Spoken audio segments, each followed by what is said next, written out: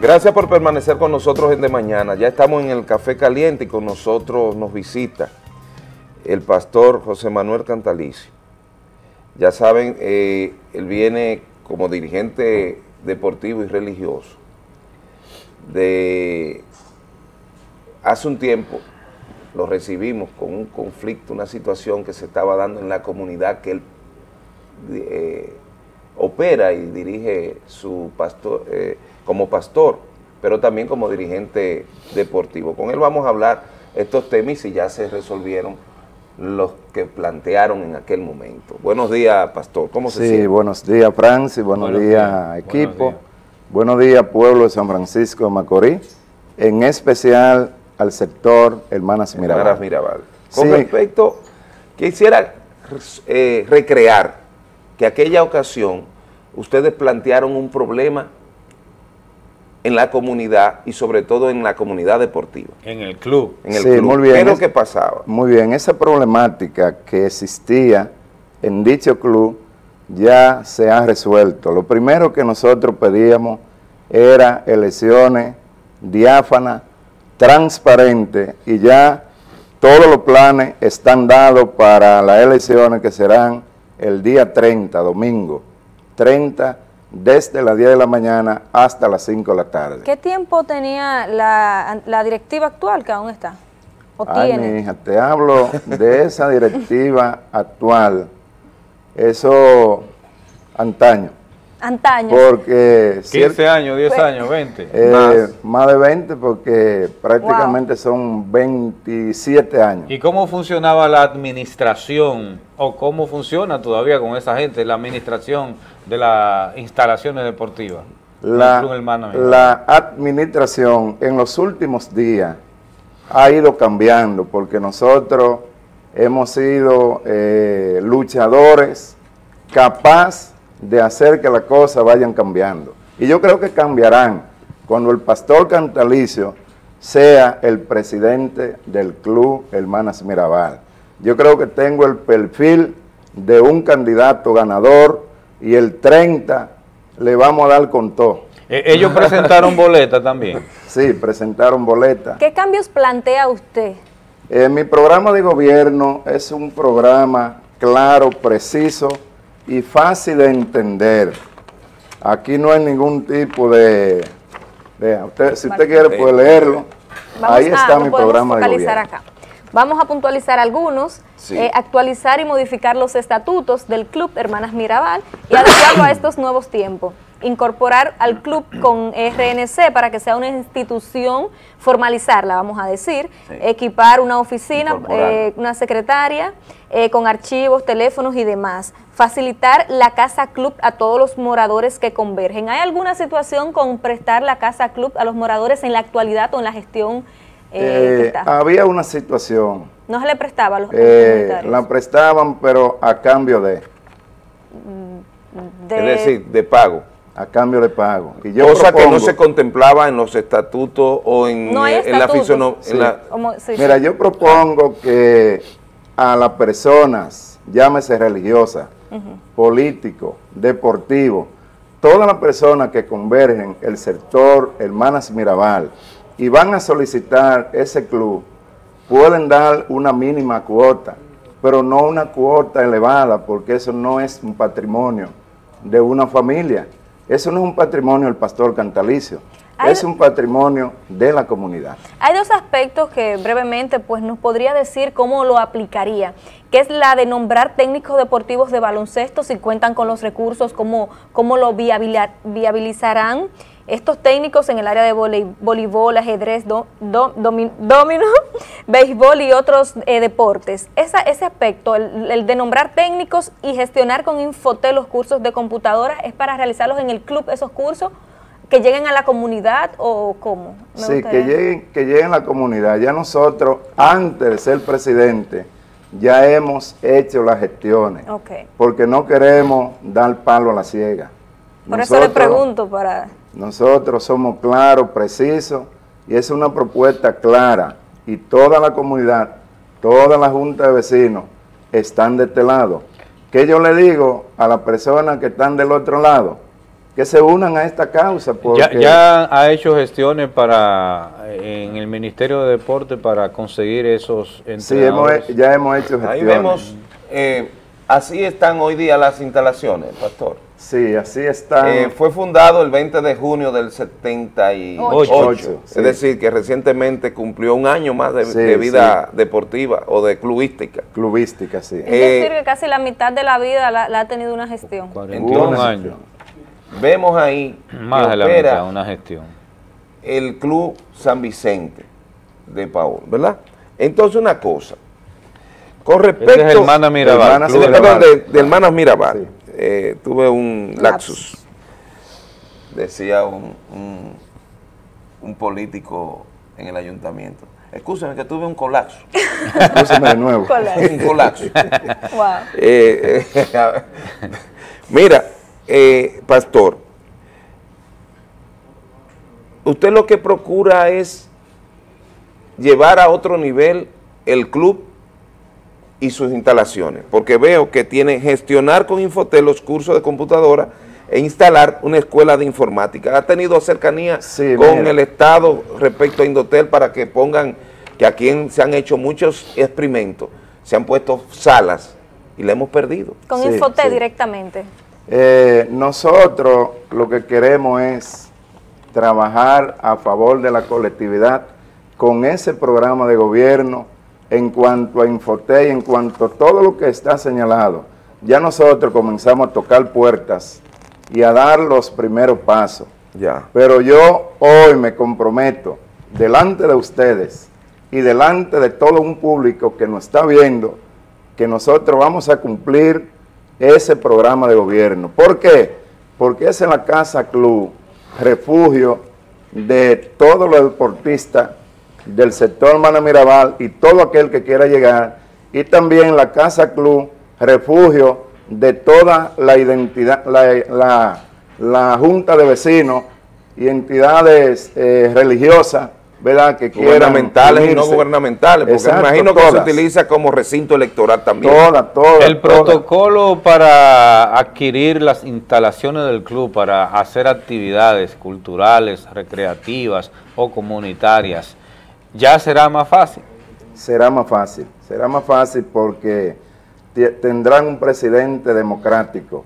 Y yo creo que donde hay democracia, hay participación. Trabajaré con todos, aún por, por lo que no voten por mí. Pero yo creo que la gran mayoría votará por el pastor que es pastor de toda una comunidad, de toda una barriada. Nunca he obviado ningún tipo de religión. ¿Por qué? Porque creo que en los clubes cabemos todos y en la comunidad cabemos todos. Hay permitir a doña Felicia que traiga el cafecito, porque trae el café caliente y así eh, usted va, vamos interactuando. yo quiero una pregunta, hacerte una pregunta. ¿De este cuánto, de cuánto, Buen día. qué tiempo entonces tendría su gestión cuando usted, si sale verdaderamente ganador? Gracias. ¿Cómo está planteado en los estatutos? ¿Por dos años, un año, tres años? Los estatutos hablan de dos años. Y yo creo en esos dos años, porque una gestión de cuatro años para un club es no darle participación a los demás, a los que están haciendo turno. Creo en la participación. Otra cosa, esa oferta que le da su, su plancha, ¿Con quiénes están constituidas? ¿Qué tipo de personas está formada? La plancha que yo llevo a cabo es la plancha número 2 y está constituida con deportistas y personalidades de la comunidad, de toda la religión, de todos los partidos. ¿Por qué? Porque creo, una vez más, en la participación. En el aspecto técnico de las elecciones, ¿cómo se manejarán el conteo de los votos? ¿Quiénes estarán supervisando? ¿Cómo se manejará esa parte? Sí, los supervisores, los árbitros de dichas elecciones será la Unión Deportiva y la Asociación de Baloncesto. Eh, este jueves nos vamos a reunir ya para entregar formalmente nuestra plancha y ahí se decidirán los últimos puntitos que falten. Muy bien. En el club actualmente se desarrollan actividades que se pueden enumerar por esta gestión. Sí, claro que sí. ¿Cuáles? Tenemos el dominó, baloncesto, el judo, el carácter, sí, entre otros. Ya. y la Junta de Vecinos utiliza el recinto actualmente para sí, ahí. Tú sabes que la, el sector Manamirabá es un sector muy que muy, muy, es muy grande. Tiene aproximadamente 14 barrios que se han añadido. Y en dicho club hay una junta de vecinos, pero en el sector hay muchas juntas de vecinos. ¿Qué, qué me podría decir así a modo general, cuáles iniciativas tienen ustedes pensado como eh, directiva de ganar para buscar involucrar más al sector con el club? ¿Cómo conectarlos? De que saber que tienen un club ahí, que si hay actividades, sea de manera, un apoyo más contundente, porque tengo entendido, y me corregirá, que el tema de los clubes eh, ha bajado un poquito en comparación a años atrás, décadas atrás. ¿Cómo conectar al sector, al barrio, a los jóvenes con el club? Sí, fíjate, lo que pasa es que muchos clubes, no solamente el hermano Mirabal, muchos clubes han estado secuestrados. Y nosotros, con la participación de darle a todos los atletas, que son atletas dormidos, porque no se les ha permitido la oportunidad que entren. ¿Por qué? Porque ese trujillismo que hay de decir, no, esto no es hermana Mirabal, esto es un patrimonio de tal familia.